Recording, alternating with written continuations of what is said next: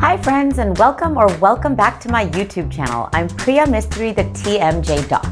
This video is about tongue posture and diet and how these two factors affect orofacial development. This topic is one that I feel very strongly about because correct tongue posture and a healthy diet that encourages us to actively use our facial muscles can have an enormous positive impact on the development of the mouth, the nose, and the jaw. Conversely, incorrect tongue posture and a diet that does not encourage us to use our facial muscles can have an enormous negative impact on these same structures. For those of you who don't know me, I'm a general dentist with a practice dedicated to taking care of patients with TMJ disorders.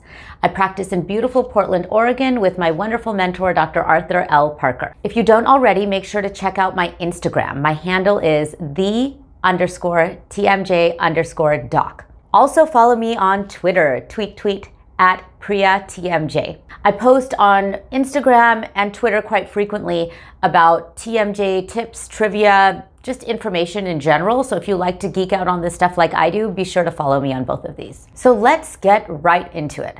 First, we will talk about the tongue, and then we'll talk about diet.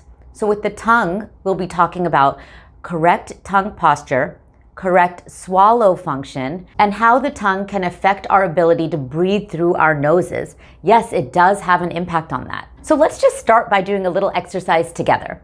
Where is your tongue right now? Is it resting on the floor of your mouth? Is it jutting forward? Is it resting between your teeth? Or is it up against the roof of your mouth? So do a little check as to where your tongue is. And then now let's compare that to correct tongue posture. So, what is correct tongue posture?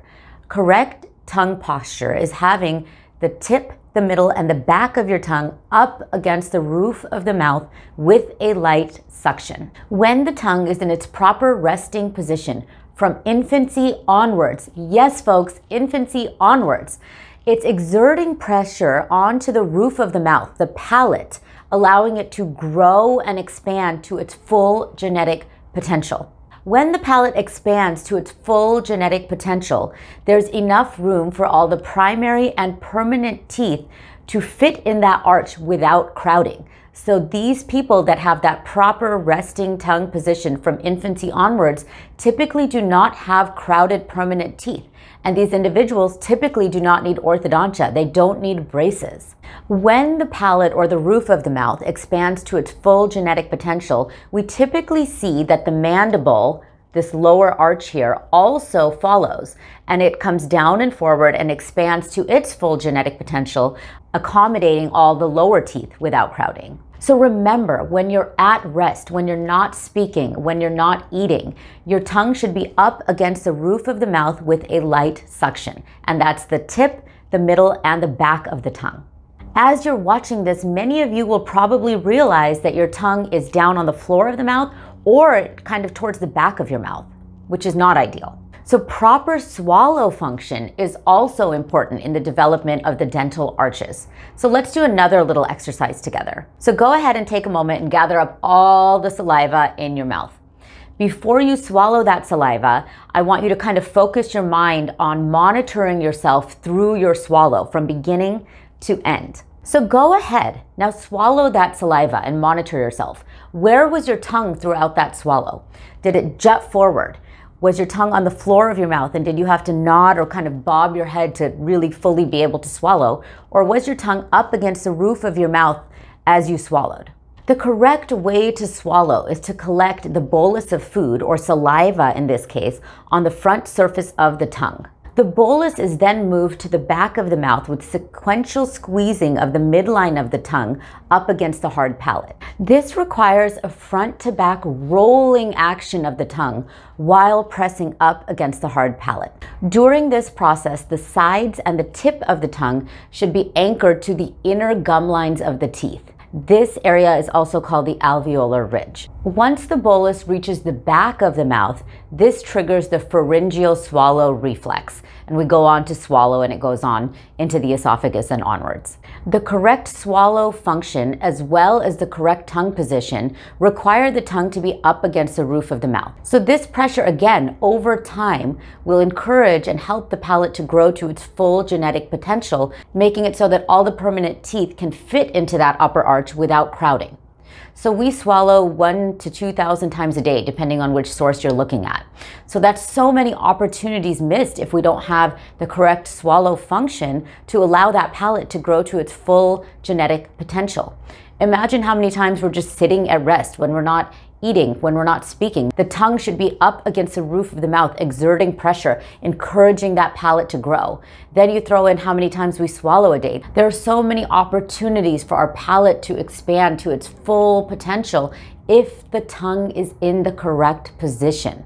If the tongue is not in the correct position at rest, if the tongue is not in the correct position when we swallow, there's a lot of missed opportunities for the palate to expand and grow. So now let's move on to how tongue posture affects the development of the nose and the ability to breathe through our noses. The roof of the mouth or the palate is also the floor of the nose. If the roof of the mouth develops wide and flat, then the floor of the nose also develops wide and flat.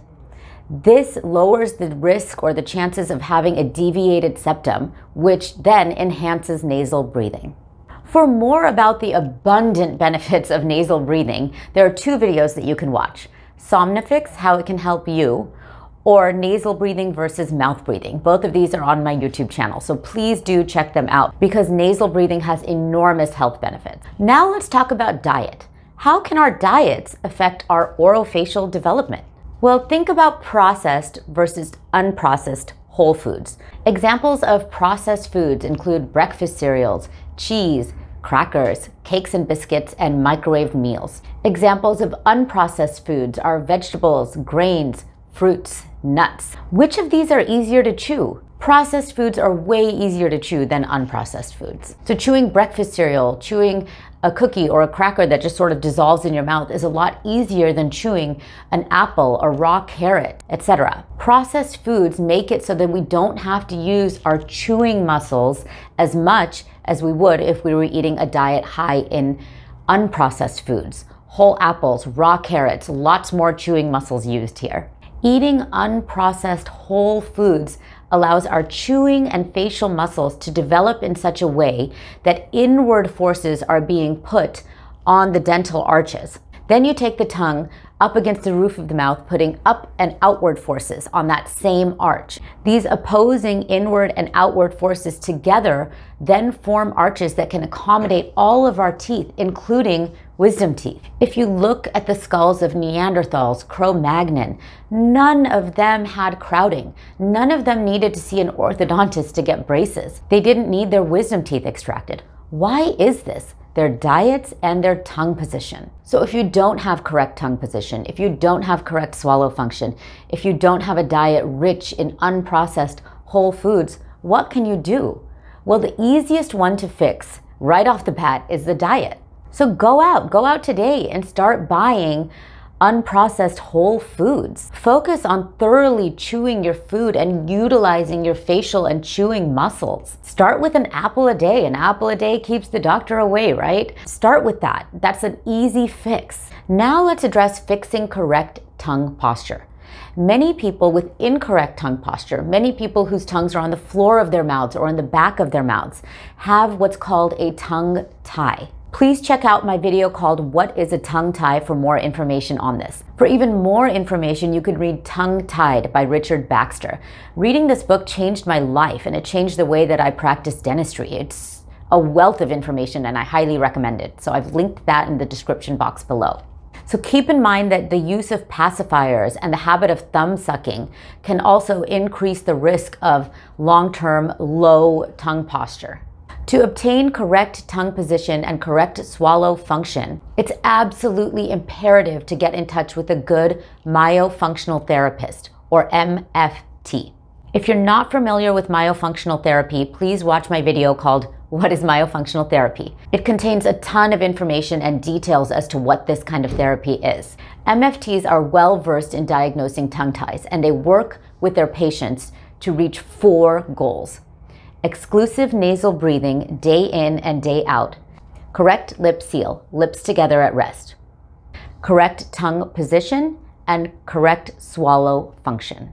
So lastly, you may be wondering, why is a TMJ dentist talking about tongue position and orofacial development anyway? Well, I'm doing so because the vast majority of my TMJ patients have incorrect tongue position and incorrect swallow function, which negatively impacted their orofacial development, which then led to their TMJ disorders. I see this connection every single day, so highlighting this topic and spreading awareness is very important to me. These TMJ disorders can be debilitating.